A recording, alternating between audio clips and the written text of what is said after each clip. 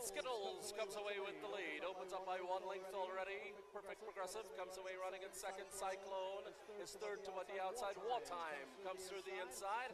To head them all now, it's Wartime who pokes ahead in front. We then come back to Savannah Fire, who's racing in the sixth spot as they race toward the far turn run. And it is wartime, and Skittles headed in head for the lead. Skittles takes over again. Three furlongs to go. They hit the far turn. Skittles put a length on the field. And Wartime is back running in second. Perfect Progressive is in third. We then come back to Cyclone, who's racing in fourth. Then comes Perfect Rose is in fifth position as they come off the turn and into the stretch a quarter of a mile to go.